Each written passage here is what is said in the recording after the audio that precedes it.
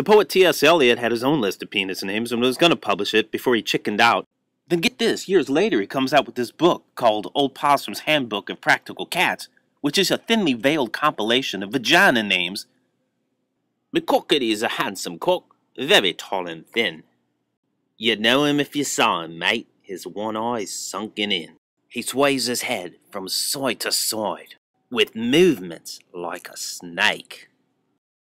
And in the morn, when you're quite well half asleep, McCockety's wide awake.